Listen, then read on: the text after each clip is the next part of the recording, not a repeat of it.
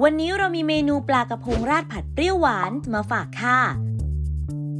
นำปลากระพงลงทอดในน้ำมันพืชที่อุ่นเตรียมไว้ จนสุกทั้งสองด้าน ตักขึ้นใส่ภาชนะเตรียมไว้ ใส่น้ำมันพืชลงในภาชนะ ตั้งไฟพอร้อน ใส่กระเทียมสับผัดจนมีกลิ่นหอม ใส่หอมหัวใหญ่หั่นเตา๋าผัดพอสุก ตามด้วยแตงกวา พริกฝรั่งสามสีมะเขือเทศราชินี และสับปะรดหั่นเตา๋าปรุงรสด้วยซอสพริกสูตรเผ็ดมาก ซอสเห็ดหอม น้ำมะขามเปียกเข้มข้นตราเนเจอร์เทส น้ำตาลทราย เกลือป่นไทยและน้ำ ผัดจนส่วนผสมเข้ากันดี ใส่แป้งข้าวโพดละลายน้ำ ผัดให้เข้ากันแล้วปิดไฟ ราดผัดเปรี้ยวหวานลงบนปลากระพงที่ทอดไว้ พร้อมเสิร์ฟค่ะ